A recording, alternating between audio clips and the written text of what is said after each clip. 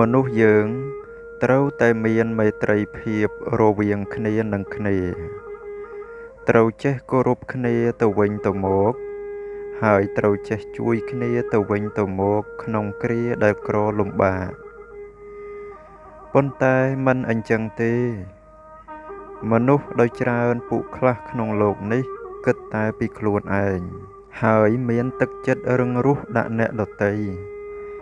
គេមើលងាយអ្នកឯទៀតដោយសារតែកំហុសដែលអ្នកទាំងនោះបានធ្វើ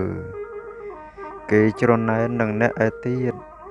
ព្រោះតែអ្នកទាំងនោះបានប្រយោជន៍ច្រើនជាងគេចិត្តអាក្រក់ទាំងអស់នេះហើយ វាក៏រីកធំឡើងធំឡើងរហូតដល់ទៅលែងចេះអត់ឱនឲ្យគ្នាកើត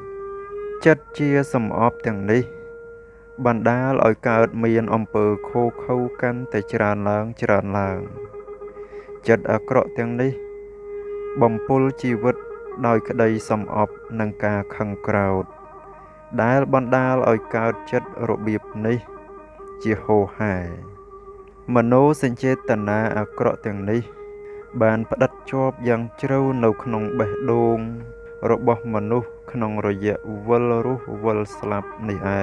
ង ជាការពិតណាស់សាធុជនទាំងឡាយ នៅក្នុងលោកអភិជា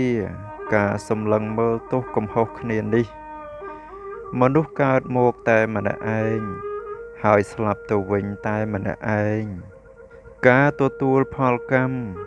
ពីអំពើដែលខ្លួនបានប្រព្រឹត្តក្នុងរយៈពេលវិលកើតវិលស្លាប់ក៏តែម្នាក់ឯងដែរ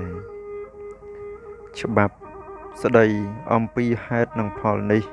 វាសកលទូទៅម្នាក់ម្នាក់ត្រូវតែស្ពាយសំពាយកំហុសរបស់ខ្លួនដោយខ្លួនឯងហើយទទួលផលកម្មតែម្នាក់ឯងច្បាប់ស្ដីអំពីហេតុនិងផលនេះ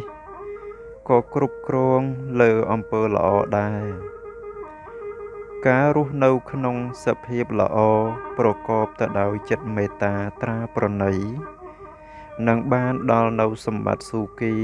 និងសុភមង្គលសុខសន្តិភាព ក្នុងលោកនេះនិងលោកខាងមុខសូមអនុមោទនា